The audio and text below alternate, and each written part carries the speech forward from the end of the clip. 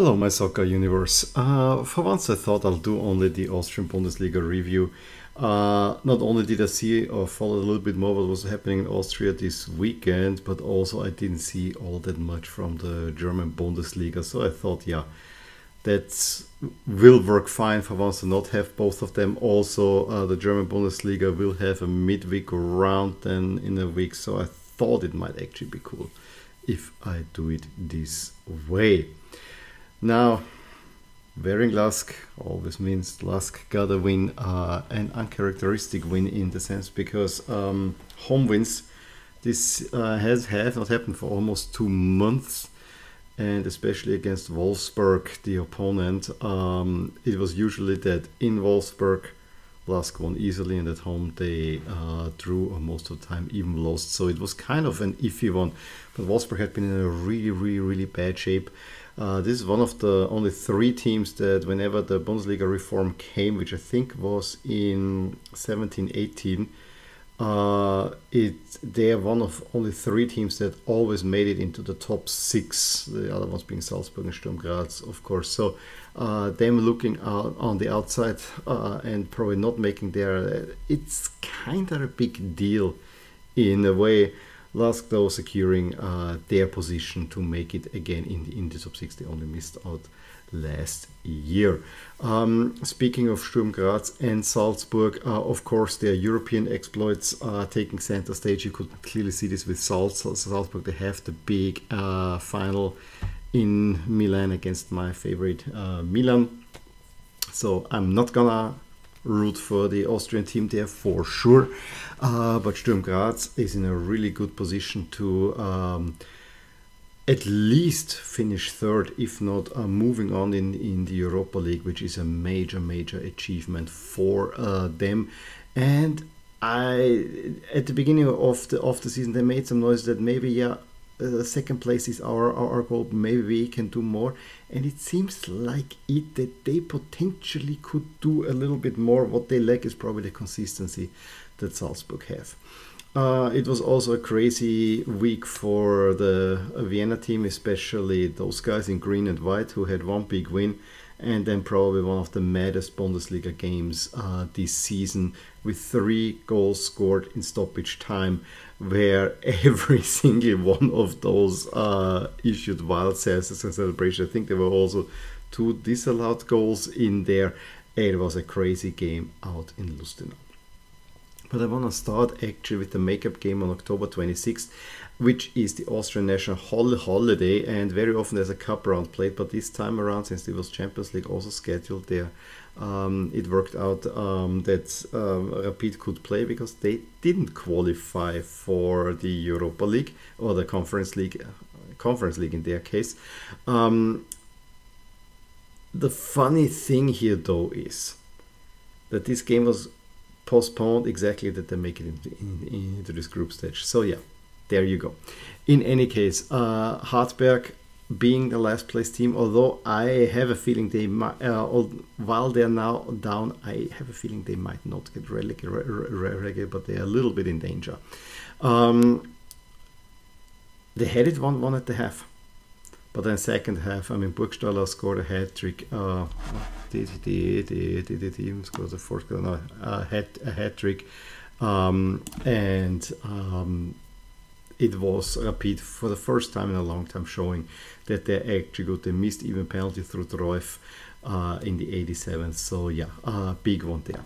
But let's talk about the weekend games because I mean almost everyone had a unique story uh, storyline. Klagenfurt, who are really sitting again set for a top six uh, regular season finish, found themselves still down, though down very early on through a Sabitzer goal. He's on loan from Lask to Tirol and he's playing always better there. He couldn't find a, a squad spot.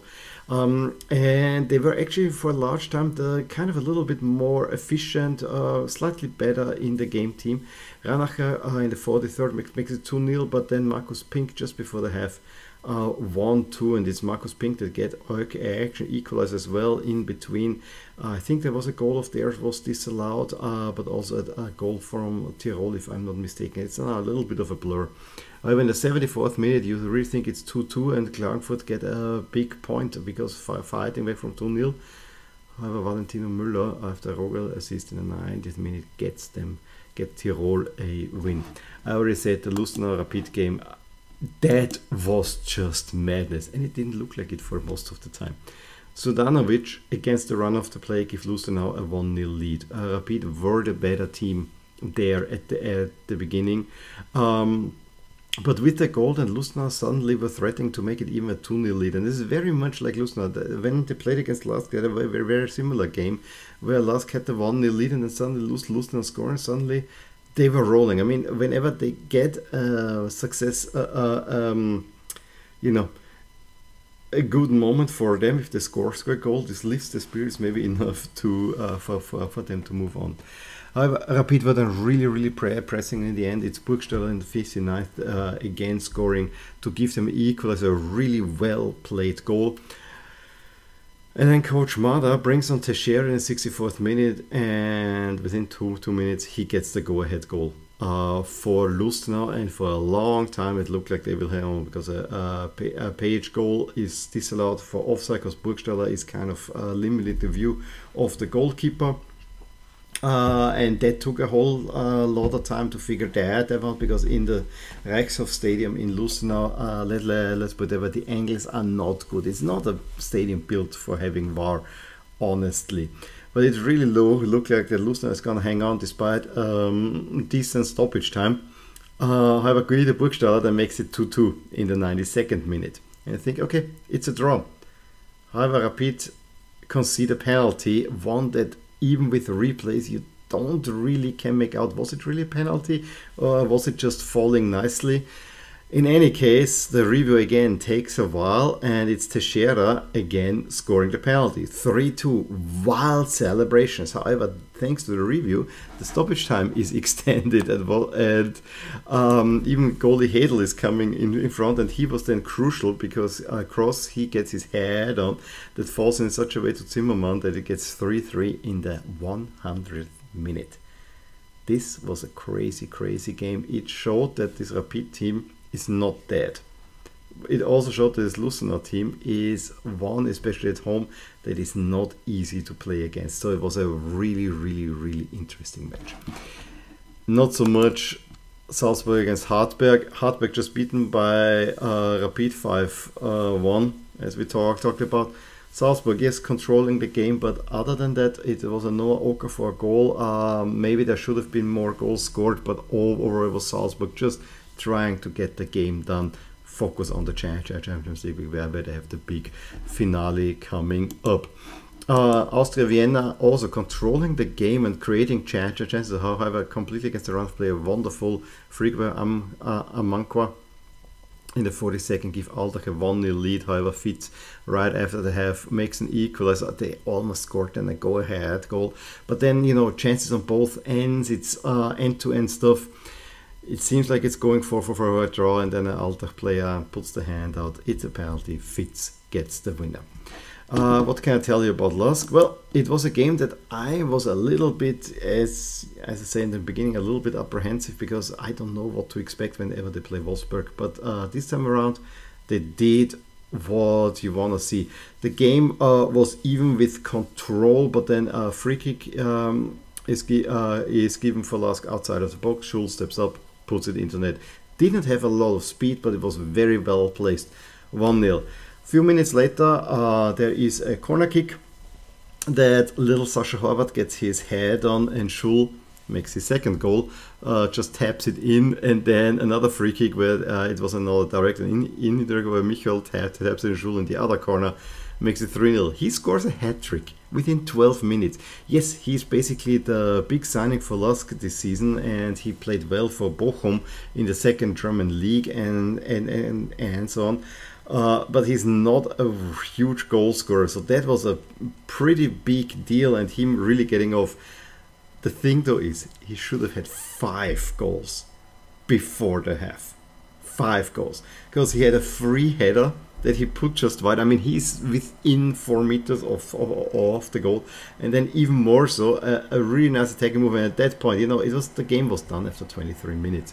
Uh, they're passing the ball, ball around, but here, here, here, and there, when you see the opportunity, they launched an attack, and one of those attacks then is played uh, to him. Free goal, and it's basically like in tennis, a stop ball in towards the goalie, almost going backward. It was such a weird, weird, weird uh, thing. As I say, it should have been five goals for him. As course, a hat trick was good, and he admitted afterwards, I should have been annoyed. I don't know what the machinery is doing out there. Uh, sorry for that noise. It's very, very late. Uh, Nakamura gets a fourth goal, and I think there were chances to make it a really, really high scoreline. Um, despite Wolfsberg controlling the game a little bit more, I was a little bit pissed that then uh, they get a goal back because I think 4 1 is actually a little bit uh, too close. And yeah, Lask now have played Wolfsberg twice and have a 9-2 overall with one four-time goal scorer in Ljubicic in the first game and then Zulj scoring a hat-trick. So pretty, pretty big stuff.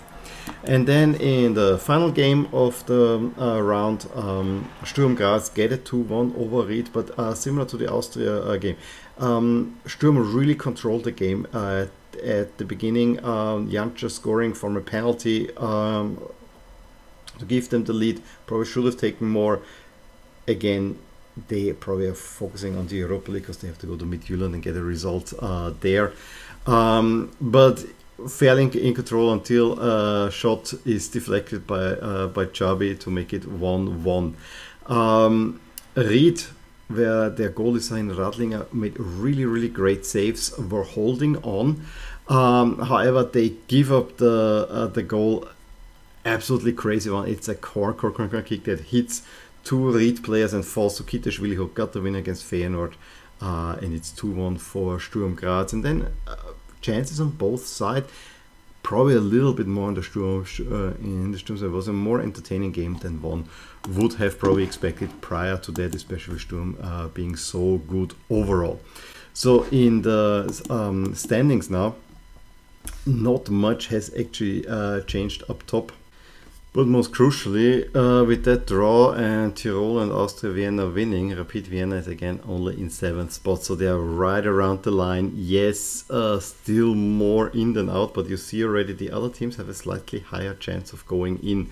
Uh, Wolfsberg is probably the last team that has a realistic chance of going in. Lustenau, who looked for a while that they might do it, uh, are very much looking now more uh, playing against re relegation as was expected ahead of the season.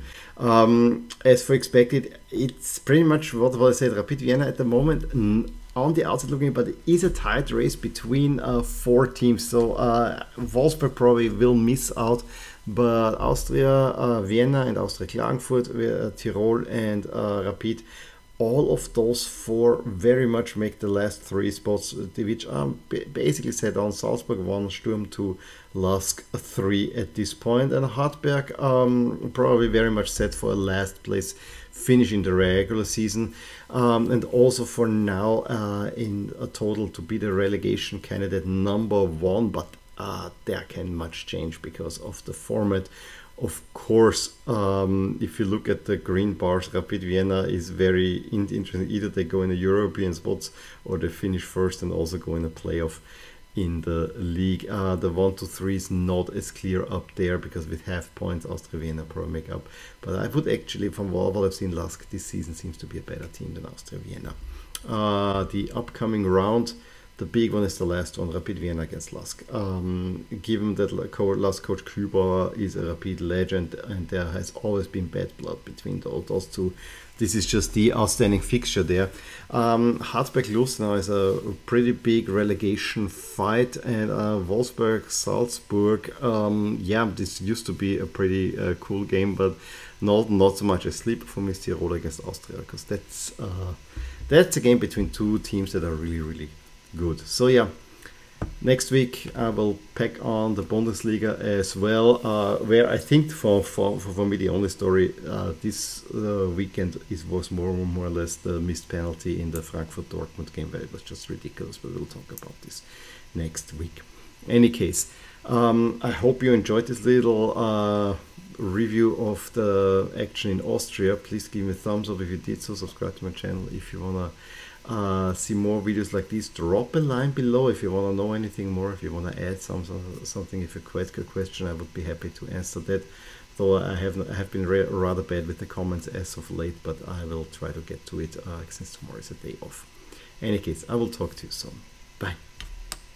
Hey there, I really hope you enjoyed this video and if you did, here are some videos and playlists that you might enjoy too. Also, please consider subscribing to my channel and hitting the little bell icon so you get notified whenever something happens in my soccer universe. And with that, have a wonderful day. Bye!